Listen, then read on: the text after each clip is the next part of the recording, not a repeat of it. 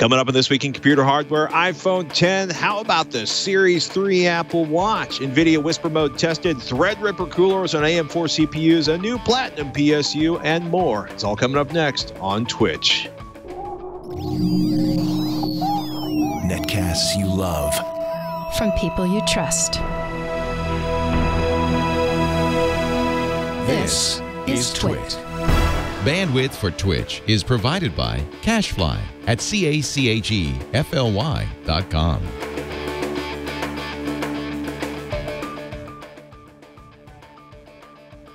This is TWiCH, This Week in Computer Hardware, episode 432, recorded September 14th, 2017. A big week for Apple?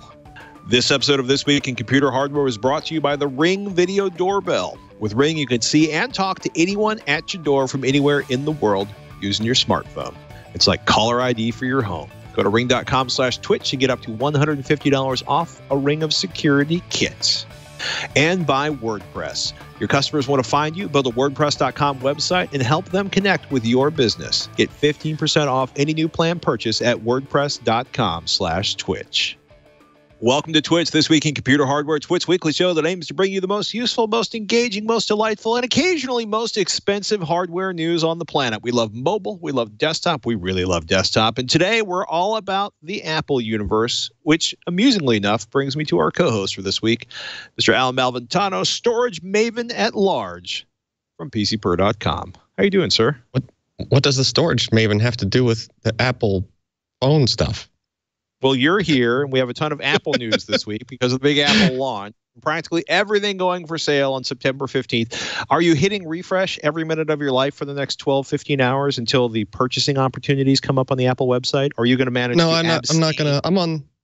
I'm on the East Coast, so it just means I set the alarm clock for like 2:45 in the morning. You know, to, which then- is tonight actually. I think because the pre-orders for at least the eight. Well, what is it? Pre-orders for the eight and the eight plus, and I think the watch. Pretty much everything yeah, but the are- 10. are- yeah, everything but the 10 is tonight at uh, 3 a.m. on this coast and midnight over there. You guys don't have to like pull an all-nighter. Fortunately. Stranger things will have happened. Uh, iPhone 10 or X, uh, $999, no price. That's for the 64 gigabyte version. No price yet for the 256 gigabyte version. Um, they are very proud of the Super Retina HD display. And Super Retina is essentially Apple for a 5, 8, uh, 5.8 inch uh, diagonal OLED multi touch display. It's HDR.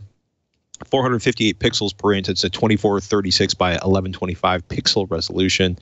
Um, kind of amusing that they're essentially supporting all the HDR standards. The A11 Bionic chip with 64-bit architecture, a neural engine. We'll talk about what that's for in a second. Uh, the embedded M11 motion coprocessor.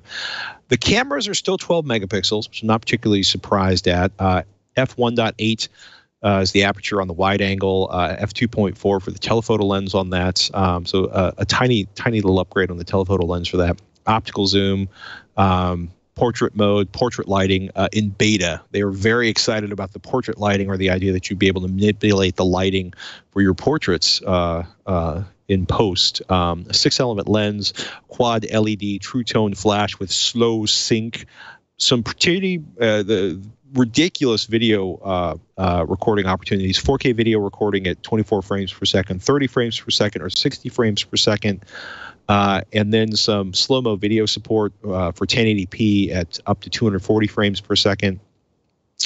Um, really though this phone uh, is about two things. Uh, the fit and finish right? They've eliminated the home button. The screen goes edge to edge except for the little chunk at the top for the sensors and the camera on the screen and they're really excited about the fit and finish on the enclosure, the glass back.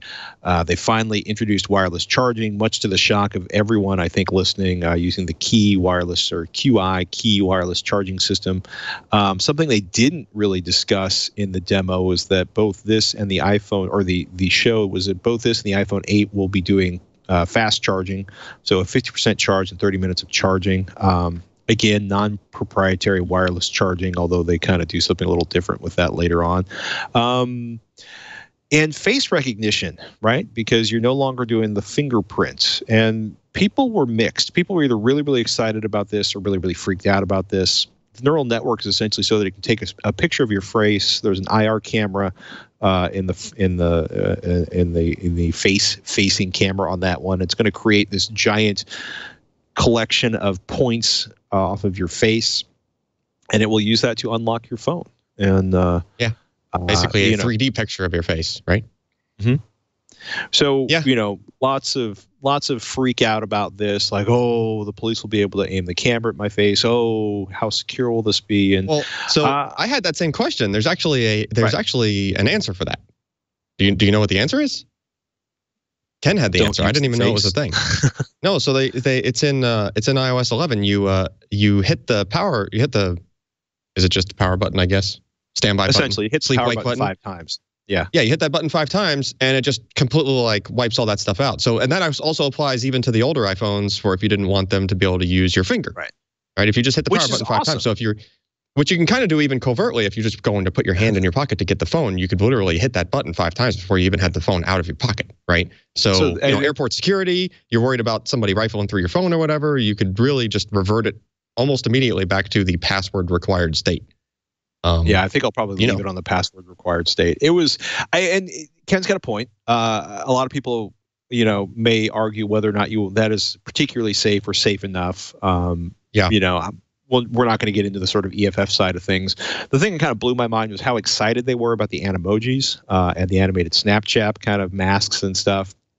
But you know, they they map thirty thousand points on your face, and then they can take an emoji they're very excited about the poop emoji and then animate it with facial expressions. Um, that was a moment. Um, the cameras on this look to be outstanding. Uh, you know, 12 megapixels more than yeah. enough for, for most uh, typical uses. The video cameras looks really good. Um, I'm I'm very curious to see uh, what people do with it in the real world. I'm very curious to get hands on it. Um, it looks gorgeous. Um, as you know any Apple product should, and it's expensive, thousand dollars again for the 64 gigabyte version, and nobody knows how expensive the 256 gigabyte version is going to be.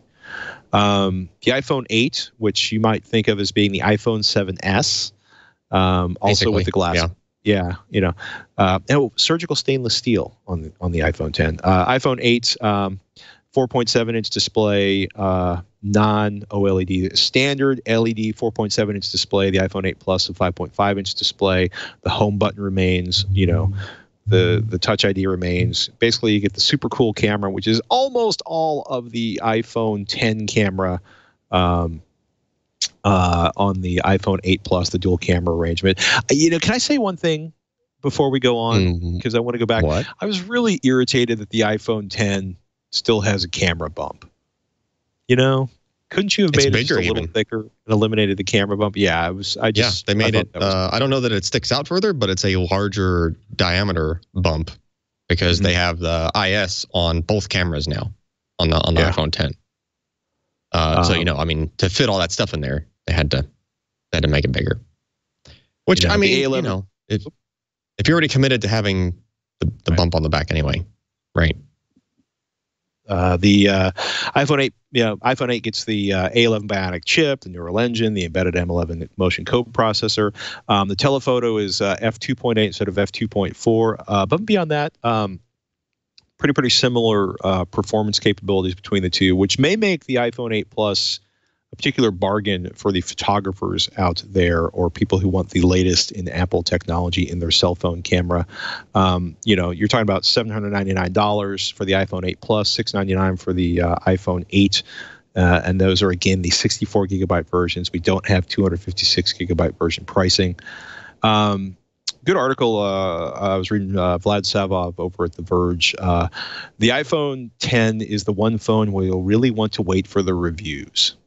And yeah, you know, I, I, I, you know, I, I liked what he was getting to in the sense that there's a lot of changes here. The swipe-based interface, you know, the the bezel-less screen, um, you know, the wireless charging, Face ID versus Touch ID. Um, you know, how strong? They're basically saying the glass back is is the strongest you know they, they say a lot of things. The strongest screen in a phone ever and the glass back is super awesome and amazing. Um, and it's backed with steel and and puppies. And uh, i'm only slightly uh, uh, mocking Apple's presentation. But um, you know, it, it may be the hardest glass, it may be the most durable glass, but again, it's glass. Uh, and as somebody who you know completely trashed their first iPhone six in a matter of three days of ownership, um, you know, I was I, I I'm a little nervous about that. Uh, the iPhone 10 is certainly outside of my cell phone budget at this point. Um, you know, and it's nine hundred ninety nine dollars, so it's it's a not inexpensive investment. Um, you know, mentioned it earlier. iPhone 10 and iPhone 8 are going to charge to 50% in 30 minutes, which I think is an outstanding thing, along with the wireless. Um, Apple TV gets 4K. It's really yep. expensive. Um, you know, if you're locked into the Apple eco, no, I mean, as somebody who's who's owned every generation of Apple TV, uh, you know, in no small part because I have been locked into Apple's ecosystem because I own a ton of of their content. Um, you know, it's it's great that they're doing 4K. 179 for 32 gigs of storage, 199 dollars for 64 gigabytes of storage. Um, you know, it's you know, you're basically talking about the equivalent performance of an $89 or $99 Roku box. Um, so there's a huge price premium on this. The flip side is they've done some what I think are pretty impressive content deals. They've got everybody but Disney on board for $20 4K movies, which is fantastic, yeah. right? Because if you start looking over at Vudu's uh, 4K UHD movies, you're you know talking very often uh, you know uh, like 29.99 for a 4K UHD movie. Um, there's not going to be any Atmos support on the Apple TV 4K as far as we can tell. Their their audio options aren't particularly sophisticated if you're a bleeding edge home theater enthusiast. But for the vast majority of people, it's going to have 4K UHD, HDR10, uh, Dolby Vision. Um, and what I hope turns out to be a ton of 4K content, and that could be kind of the Trojan horse for Apple, you know, catching back up to Roku in terms of installed units. Uh, I don't think it's going to happen given the number of TVs using the Roku's operating system, um, but it's it's I think it's a really smart thing for uh, Apple uh, and and Apple's being, again being aggressive on the 4K. Uh, uh, movie pricing like 20 bucks uh, and they promise that you know all of your eligible hd movies that you own they will automatically make 4k uh, for free which I thought was a, a really nice thing for them to do. So if you've got a 4K TV uh, and you got a bunch of Apple content, this is looking uh, looks like it has a lot of potential. Um, they put a white circle around the home button. Uh, whether or not that circle is raised, and i.e., a textural uh, feedback uh, for your thumb in the darkness, or whether or not it's just a white circle, remains to be seen. Uh, I'm hoping to to get into a store and uh, as soon as these are available uh, for pre-order, hopefully they'll be in a store so you can play with them. I'm very curious about that because I, I, didn't realize how many people were as frustrated as they are with the Apple Remote. I found it frustrating for about a week, and then uh, it wasn't an issue for me. But some friends of mine were just you know, all they wanted out of the 4K announcement was a redesigned remote control because that was the most frustrating pain point. Um, I mean, you get used to the remote. I mean, it has like yeah. you know, there's indentations in the buttons at least already, so you just know where the button is after you know, like you just said, using it for a week or so, right? Mm-hmm. Like, you just kind of get used to it. Apparently, uh, you and I got used to it, but a lot of people didn't. Um, yeah, I think the most impressive announcement uh, was not the the iPhone 10, uh, but the Apple Watch Series 3.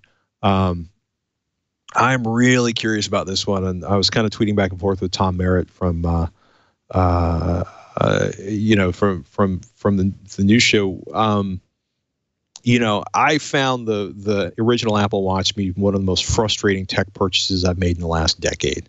Just in terms of the interface was messy, the options were difficult, having to have it linked to the phone. Um, I just found it really, really frustrating.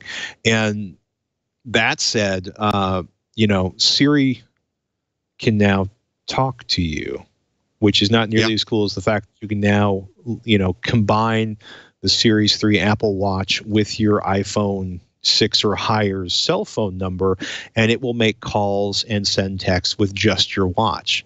Uh, you can see it right there on the screen if you're watching the video. That's really exciting to me. Um, you'll be able to get weather without having your watch nearby. Um, I think Apple was much more as excited as Apple was about the you know, basically putting a cell modem inside of the the Apple Watch Series 3. But they were really excited about you having getting Apple Music and streaming 40 million songs from your wrist. Uh, uh, you know, they were which which makes really sense. excited You know, to be able to. that. I mean, you you can do that already. but Now you can do that away from your phone, right? So that's the whole. You know, But it's like uh, it's- but it was the amount of but it's time worth pointing out.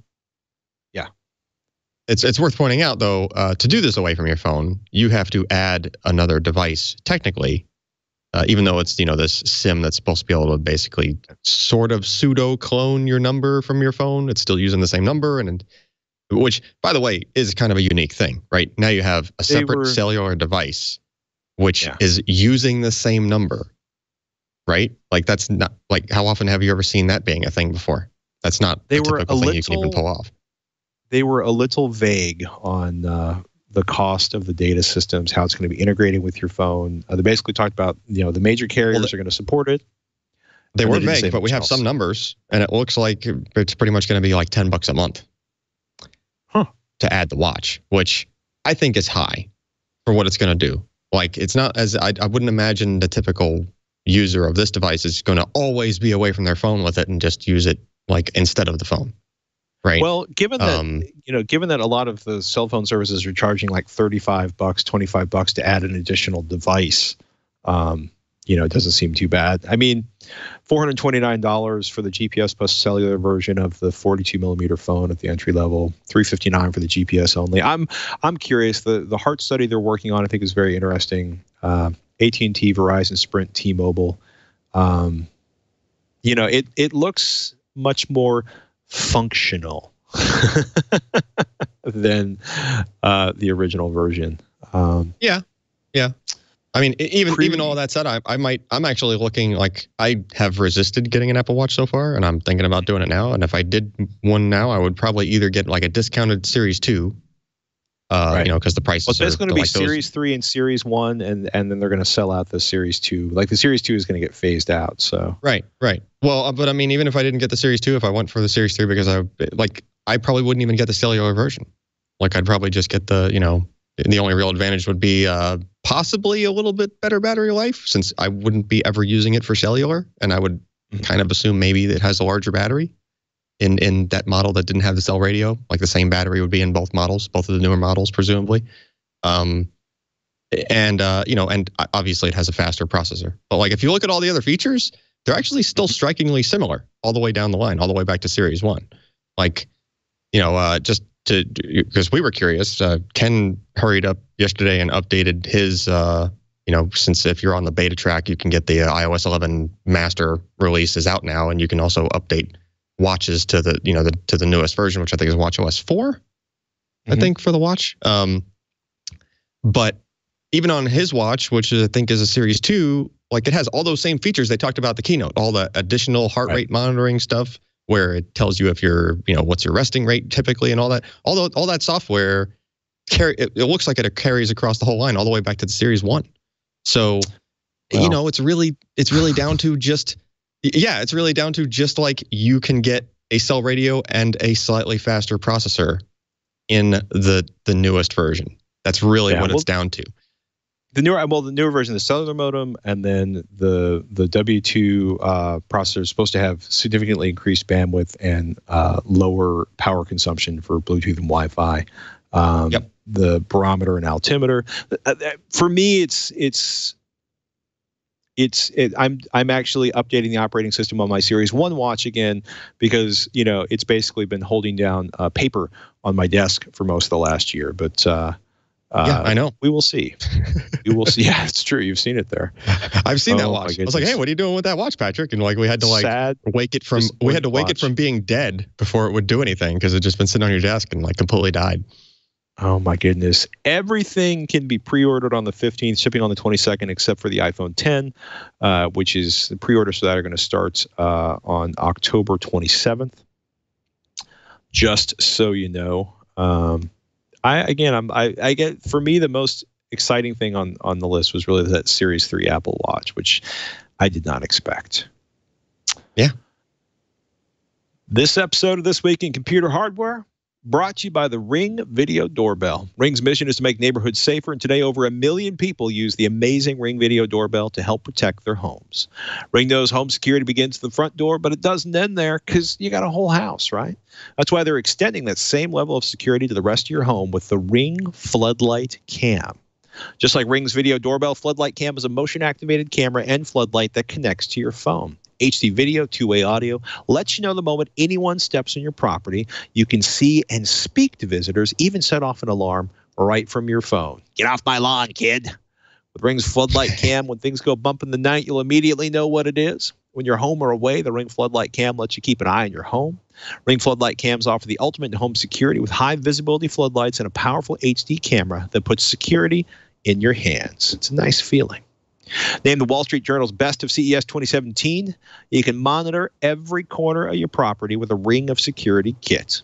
All the kits include a Ring Video doorbell and your choice of either one, two, or three floodlight cams. Connect your Ring Video doorbell with your favorite smart locks and hubs for added convenience, monitoring, and security. Just have it all sorted out. It's nice. With Ring, you're always home. Save up to $150 off a Ring of Security kit when you go to ring.com slash TWiCH. That's ring.com slash TWICH. And we thank Ring for their support. Matter of fact, I'm pretty sure there is a Ring video doorbell on the door of the office you're in right now, Ryan. Excuse me, Alex. There's, there's, there's, uh, technically there's two. Really? Yeah, we got two doors. Ooh. You know, Monitoring so one on all the, the doors. Yeah, monitor all the doors. And if you had any outside on the property, you could put the well, floodlight yeah. cams on. That's true. Just talk to Ryan about that. Tell me you don't feel secure and you want to feel more secure. I have been thinking about getting one of those for my backyard at my house. It'd be fun to put one to watch the chickens in our backyard so that if we heard the, the chicken disturbance in the night, we could fire up the siren and scare the raccoons away.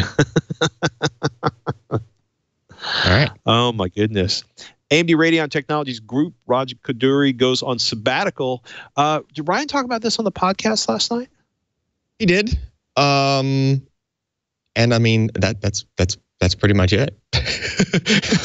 he he went on a sabbatical. Yeah. Um, th- th- there's there's kind of like some more disappointment in what the community has responded with in this than than in the story itself, in my opinion, at least like you know because you have guys out there going oh he you know yeah he should have stepped down or just people like venting whatever their frustration was with recent you know amd gpu releases uh, and trying to pin it all on one guy as if like you know one person is in charge of every single moving part of of a thing ever.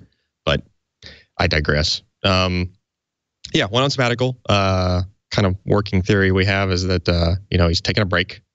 He was uh probably uh, cashing out too many like brown, family brownie points from all the you know work he was doing on right? Like i would imagine there are plenty no, of nights I, where that guy was yeah he's probably uh probably burning the midnight oil a lot right? Um in order to get uh in order to get vega out the door and now it's out uh so we know let the guy take a break.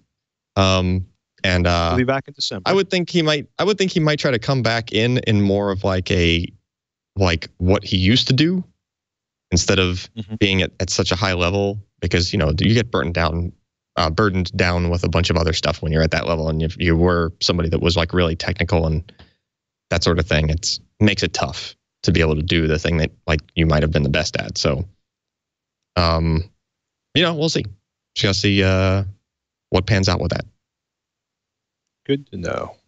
Yep lisa Su stepped in to take his place for the moment just so we have said all that needs to be said there that uh, that should leave the group in in good hands. Yeah. Ryan Shrout wrote that one up on PCPer.com. Uh, Jeremy uh, has a notification for everyone: free Champions Pack for Quake Champions for free with AMD GPUs and CPUs. Ruby, the animated heroine ATI used in tech demos for years, has returned and is now playable in Quake Champions for those who claim their free key. So uh, Ryzen 5 or 7 APU or an RX 560, 570, 580. You can claim the Champions pack for Quake Champions for free. Uh, that would normally be a $40 uh, retail. And uh, if you purchase one of the products after August 22nd, you can get your key over at AMD Rewards. That's going to run until October 29th, or quote, until the keys run out. So if you're eligible, don't wait to score your free shiny.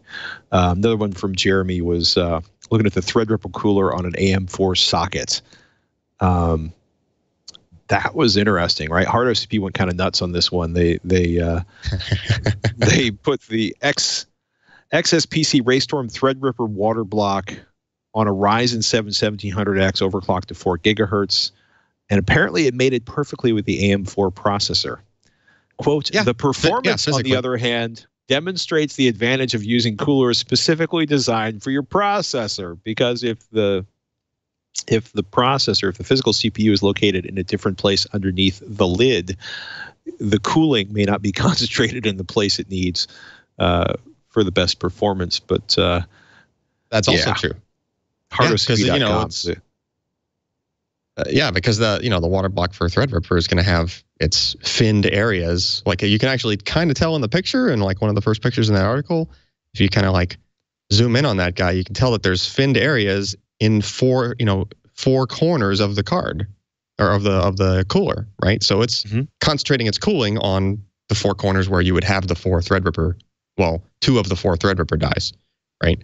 Um, if it was an Epyc processor you had in there, it'd be all four of the active right. dies.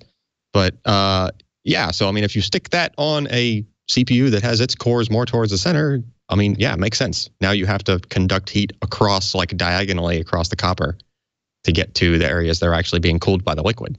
So, you know, and and that gave you, uh, I think it was like a three degree Celsius difference almost, two or three degrees Celsius. So, yeah, use the use the right tool for the job. Folks. Please, we beseech you. Oh yeah. my goodness, uh, Ken got uh, hands on with NVIDIA's Whisper mode.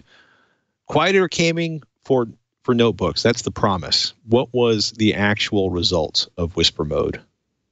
Uh, so it depended on like which uh, which notebook. We tested a couple of notebooks with this, uh, and the idea here is just it's it's like a profile through GeForce Experience, and it's able to go in and tweak settings in the game. You know, game specific settings, right? Um, mm-hmm. With the end goal being, let's reduce the power draw um, and also, let's try to keep the frame rates limited to a specific value, right?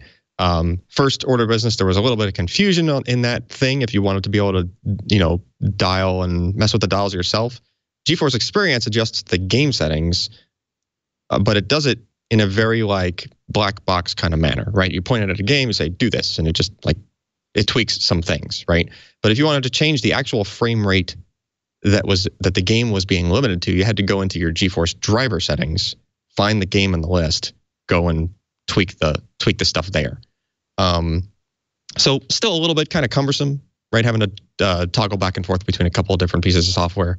Um, but that aside, uh, so tested two platforms. One of them was a, 10, a GTX 1070 Max-Q laptop, and another one uh, had a 1080.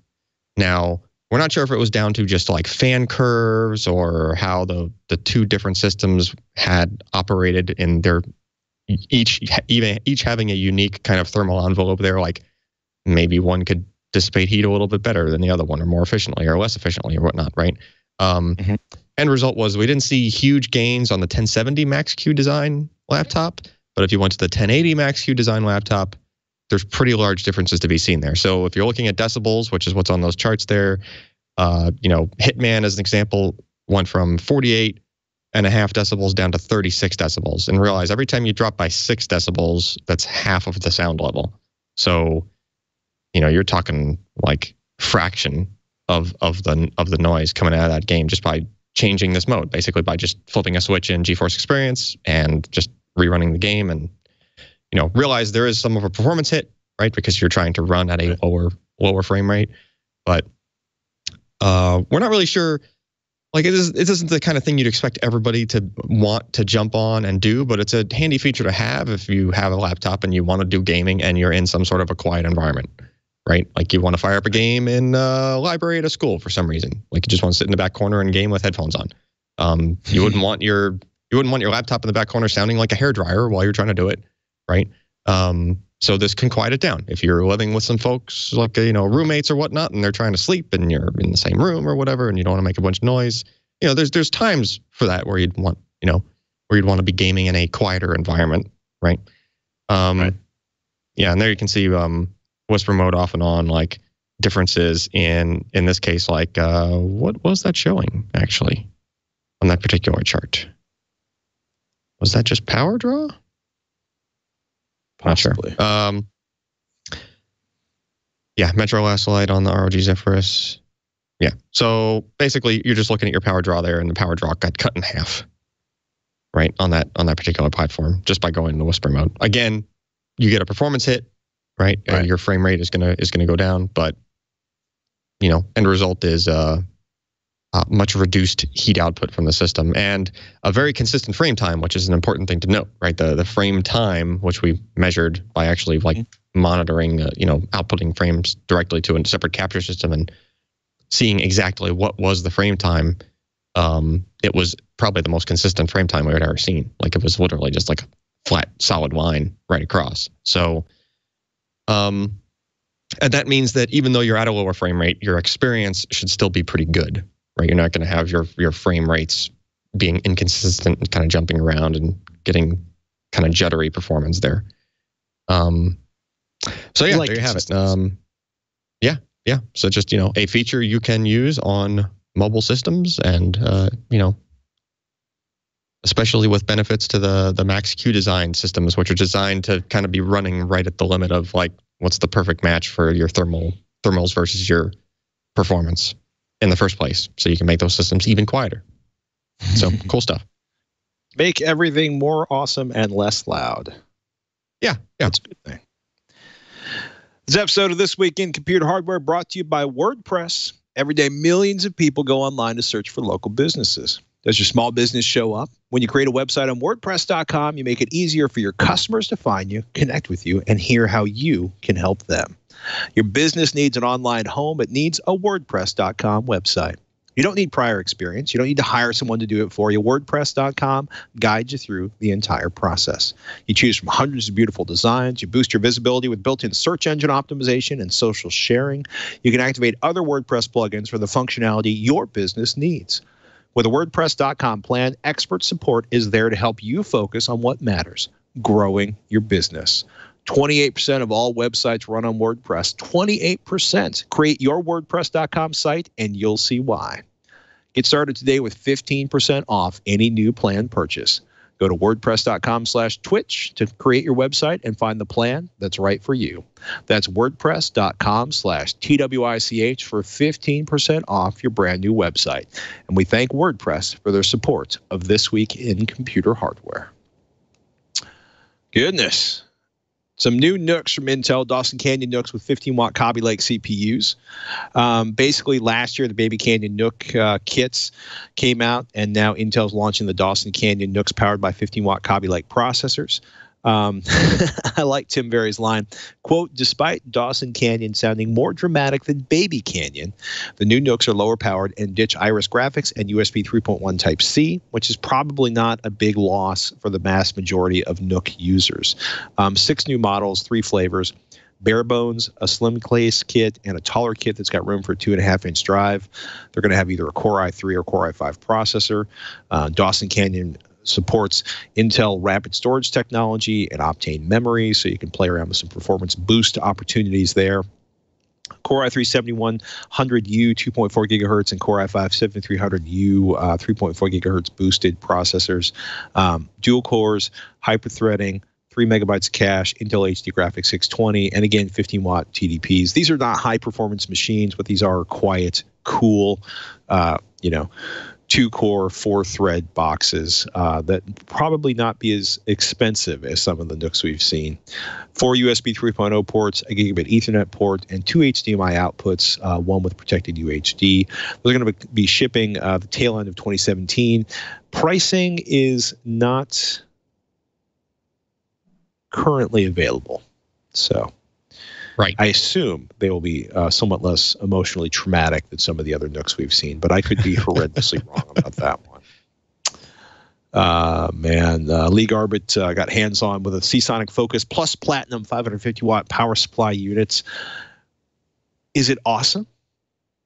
Uh, well, I mean, the key here is just they're getting a platinum rating in a relatively low wattage power supply, right? Mm-hmm. Um, and Which you know, is good. also relatively compact, right? But so, yeah, some people that want uh, to run a lower power system, like a lower wattage requirement system, would also still want to be really efficient. Usually, those are kind of contradictory, right? Usually, you get more efficient at the, you know, generally speaking, and like it's easier to do with like putting some, uh, like some of the higher power output units tend to, to go into the platinum range, uh, because that's where you'd really care more about being more efficient because you're putting less heat out from the power supply. But now they're kind of, you know, the platinum rating is kind of moving down into the lower end of the spectrum there as far as uh, your power output. So 100 bucks for a 550 watt platinum rated power supply. And of it's course, funny. Lee did all of his, you know, uh, all of his detailed uh, tests that he does on a power supply. So the the rating, uh, what was the max rating he got? So at 275 watt draw, which is actually a pretty, you know, reasonable spot for a typical uh, typical system that's not kind of like a power user system. Uh, 92 and a half percent efficiency. Uh, that's pretty good, uh, and that's on and that's on 120 volt source. So if you're overseas right. and you get one of these and you use it on a 240 volt uh, supply, it, the efficiency actually goes even higher. I think. Nothing wrong with that. It's uh, you know, some people might say it's a little expensive, but again, it's it's 80 plus platinum. Uh, build quality should be outstanding. Um, you know, 80 plus platinum rated, uh, and then 550 watts continuous DC output at up to 50 degrees Celsius, which is 122ish degrees. Should you be thinking in Fahrenheit instead of Celsius? Um, 10 year warranty. Again, we are seeing a bunch of power supplies that are being over engineered and given particularly amazing uh, warranties.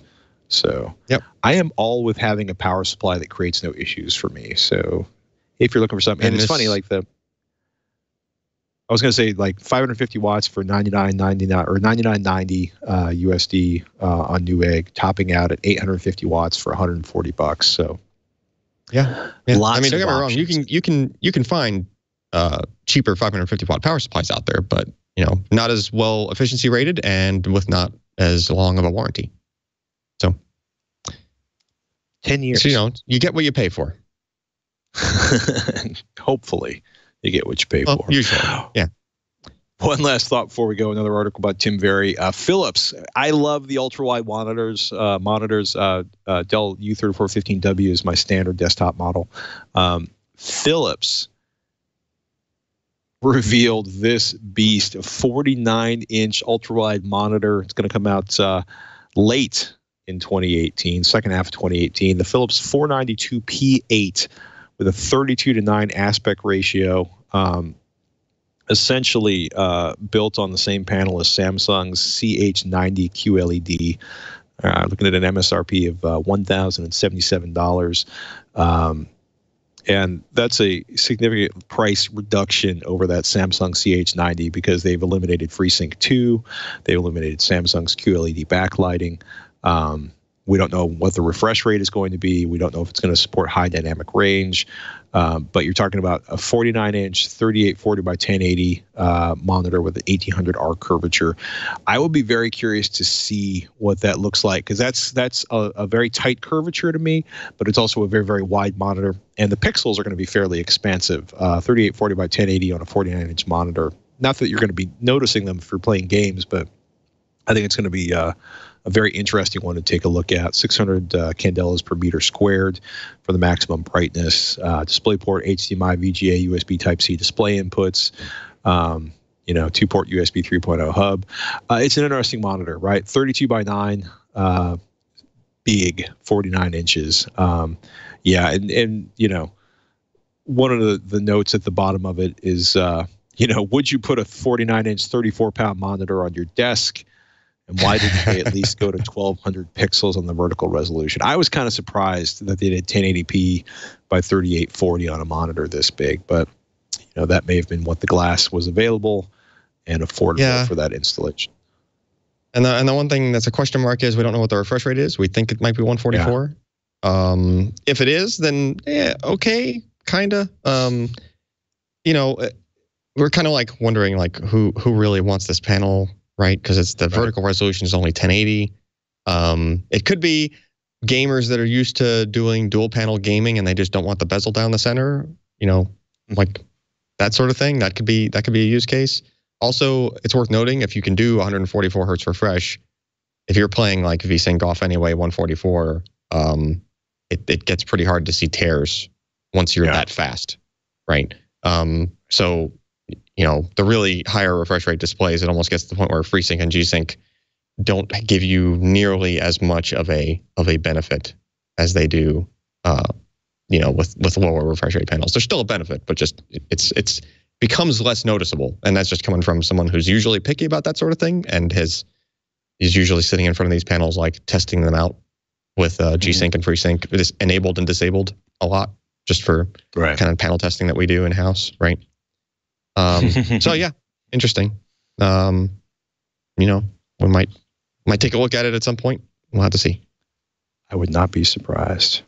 With that, ladies and gentlemen, we're about to wrap this episode of This Week in Computer Hardware. Are there any exciting advances in storage that are coming up, uh, maybe for review on PC Purser?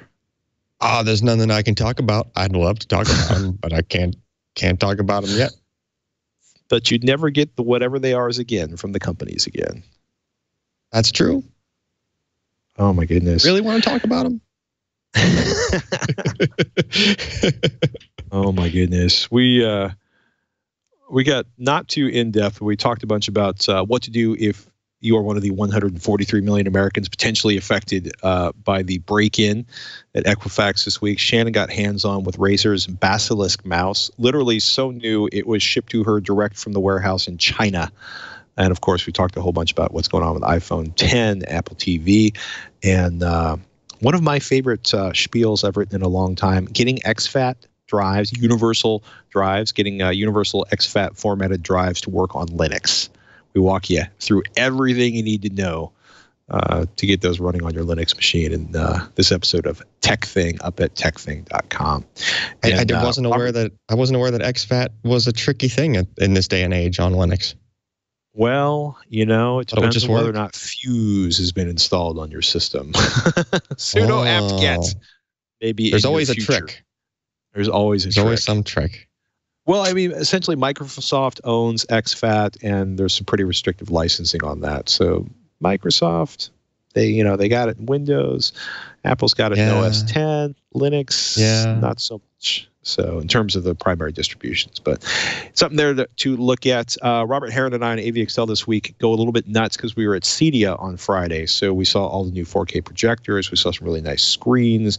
Uh, we saw a whole bunch of new speakers from KEF and ELAC and uh, Definitive, and uh, that's uh, that episode should be up tomorrow. That was a that was a fun day, long day because we we both took the same like 5:50 a.m. flight out of Oakland uh, down to San Diego. But man, there were some gorgeous screens down there, uh, including what I think is one of the most practical ICTVs I've seen in a long time, which is from Samsung. They call it the Frame, which is essentially an HDTV with a swappable wooden frame around it, so it looks like art. And they did a whole bunch of really interesting things to make art look more realistic on this screen. But the best part about it is it's not three millimeters thick. It doesn't cost ten billion dollars, uh, and you can change it with your decor if you're the kind of person that wants decor changing opportunities. But uh, we talk about a lot more than that on uh, this week's AVExcel. With that, ladies and gentlemen, thank you so much for joining us on This Week in Computer Hardware. I suspect there will be a whole bunch more hardware news next week that we can't talk about just yet. So if you're not subscribed already, do us a favor, go to twit.tv slash TWICH. That twit that is twit.tv slash TWiCH. You get all of our older episodes. You get information on how to subscribe. You get links to Ryan and I. And uh, we want to thank you for joining us on the adventure that is TWiCH. And I want to thank you for joining us today, Mr. Malventano in Ryan's place. Thank you, sir. See you guys, uh, you know. I would say on the next one, but that'll be Ryan. Well, with that, ladies and gentlemen, I'm Patrick Norton. And I'm Allyn Malventano. And uh, I, at least, will see you next week on TWiCH.